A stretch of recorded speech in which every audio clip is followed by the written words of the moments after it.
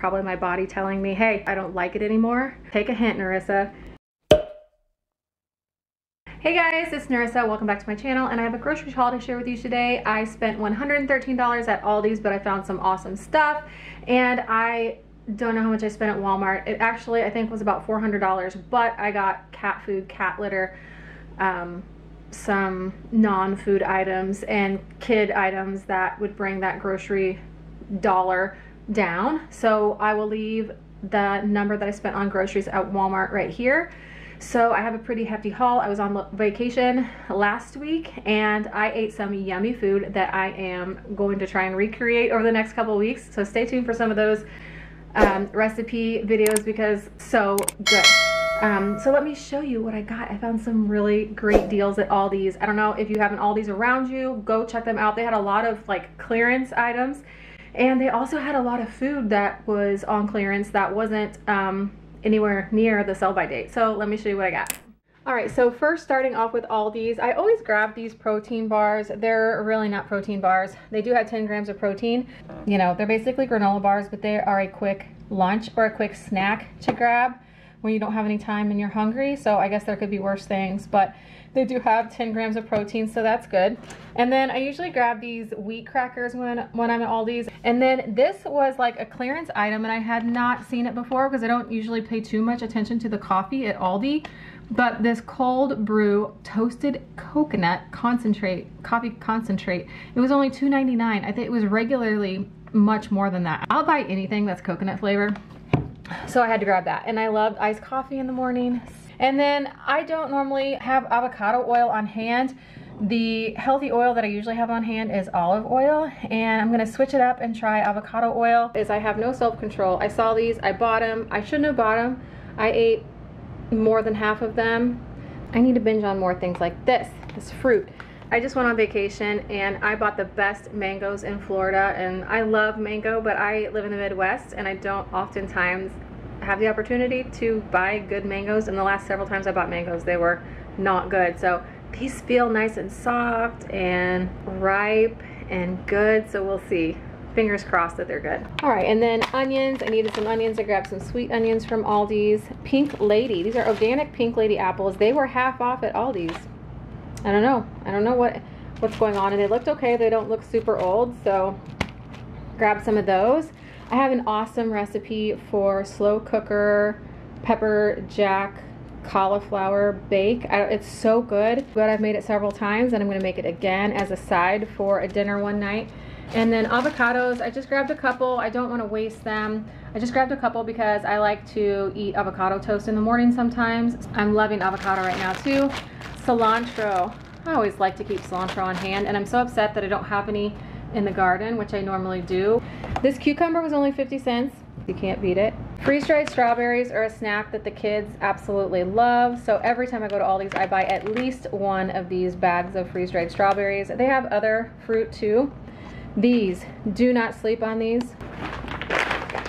If you've never had these, go to Aldi right now and get them. They are so good and they're Bobby approved, if you know who I'm talking about, let me know. These are so good. They're only 160 calories for eight cookies, so it's a great snack. And there's only a few ingredients, coconut cashews, coconut sugar, cassava flour, and sea salt. These are so good. Really hard to not eat more than eight cookies. All right, I also grabbed a couple bags of garden salad. I have a week or so before it expires. I grabbed some cherries. All these had no strawberries. I was so upset. They had a ton of cherries though, so I grabbed cherries and grapes and a thing of raspberries and a thing of blueberries. I grabbed two bunches of bananas, grabbed a pack of limes. This is for the to pair with the cilantro and some of the other islands like recipes that I ate on my vacation, including these Brussels sprouts. I had the best Brussels sprouts I've ever had in my life at a restaurant in Florida and I'm gonna be making these and I'm also gonna be using this glaze to try out with some other vegetables and see if that will make me eat my vegetables because I ate all these Brussels sprouts on vacation. Can you believe that? These are actually another vegetable that I do enjoy eating. It's hard for me to eat vegetables, they're not my favorite, but I really do like these sugar snap peas. And then I grabbed some coleslaw mix because I also got some jicama from Walmart and I'm gonna make some jicama, jicama slaw, uh, cilantro, lime, slaw. Something I had on vacation and it was so good. I'm gonna try and make it myself. This is what's gonna ruin my diet all week. This garlic naan bread, oh my gosh. Or, you know, me trying to eat a little bit more low carb. This is so good. If you guys have never tried this, this garlic naan flatbread, it is so good. I literally will just eat it by itself without even using it in a recipe or anything. I also grabbed some, some salmon. This is something that I've grabbed at Aldi's the last several times I've gone and we've had salmon. The kids don't like it, but my husband and I can share this piece and um, it's a little something different. I've been getting this lunch meat lately, this Castle Wood Reserve Oven Roasted Chicken Breast. It's really good. It kind of tastes like deli, but it's also cheaper. And then green peppers. Got a three pack of green peppers. This is for snacking and recipes. And sweet potatoes. I do like sweet potato and uh, cinnamon just alone. It's really, really yummy to me. And then I also got some paper plates at Aldi's. These um, are fairly affordable compared to some other paper plates these days. I really try to conserve these and not use as many and use more uh, washable plates. All right, and then I also got a couple non-food items. I got this rug. It's a plush rug, two feet by four feet for $6 for $5.99. And then I got some of these face washing cloths. These are awesome. I have a couple of them that I got from Amazon, but these are seven and a half inches by 15 inches. And there's five of them for $4.99. So that is an awesome deal too. I would definitely recommend getting some of these if you don't have any. They really take off your makeup easy. That's all I got at Aldi's and let me show you Walmart. Okay, from Walmart, I got, oh, batteries. That's not a food item. I was out of baking powder and I've been baking a lot lately, so I needed some baking powder to replace my old stuff. I grabbed some coffee. My husband has been requesting this McCafe uh, medium roast. This is the coffee he likes these days. And then we were trying to get off the soda, like soda. That sounds weird when I say it. Pop, soda, Pepsi. What do you guys say? I'm from Illinois and I say soda, I guess. I guess. I just, I drink way too much. My husband drinks way too much. It's so dang expensive these days too. So this is his water enhancer flavor of choice, this Orange Blast. So I got him four of those. That will last him two weeks. He drinks a lot, a lot of water, a lot of orange flavored water. I got a couple bags of Sun Chips for the boys. Then I also got some of these pickle flavored crispy dillies. Uh, Jen Chapin, uh, she's a YouTuber. She's awesome. She mentioned these on one of her grocery hauls and I was like, oh, I added it to the cart right away because it sounded so good. So those would be good salad toppers. And then I got some tortilla strips. I do like to have some taco salad for lunch after a taco night. So these will be convenient to just add to the salad. 72% cocoa dark chocolate squares. Put one in your lunch. It's like a little sweet treat after lunch. It will help curb that sweet tooth to where you can move on with the rest of your day. I got these Z-bars for my oldest son. He likes these. And then some Velveeta cups, Velveeta macaroni and cheese cups. These are good to have in your pantry whenever you need a little side dish for the kids when they don't like, for example, jicama slaw. So this is the first time I've ever bought a jicama. Look at it. It's huge. Simply peel, cut, slice, or shred. I will share the recipe with you in a later video. I got some Dum Dums to put in the pantry. We were all out, so you know, kids. This is my sugar substitute of choice. A little goes a long way. I use it in coffee and I will use it in like baking recipes to cut down on some of the sugar. It's pretty good. So I got some pineapple juice because I also had the best drink ever on vacation. It had strawberry syrup, which is why I got this, strawberry syrup, pineapple juice, as well as lime juice, and what else? Rum. So I got some of these so that I could have a drink and remind me of my wonderful vacation with my mother.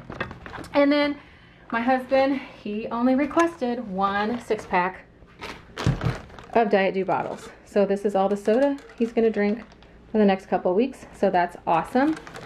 All right, let me show you the what else I got. This is the Equate High Performance Protein Shake, the caramel flavor I've been liking. There's 30 grams of protein per serving, and I use half of a carton for my protein coffee in the morning. So that's 15 grams. Um, there's, I think it's 160 calories. Yeah, 160 calories per carton. So you use half, that's 80 calories. It's really good. I, I look forward to it in the morning. And then my husband wanted me to get him a French baguette. And then I wasn't sure all these had Brussels sprouts, so I went ahead and got some Brussels sprouts on my Walmart grocery pickup order. So we'll have we'll have lots of crispy Brussels sprouts coming up.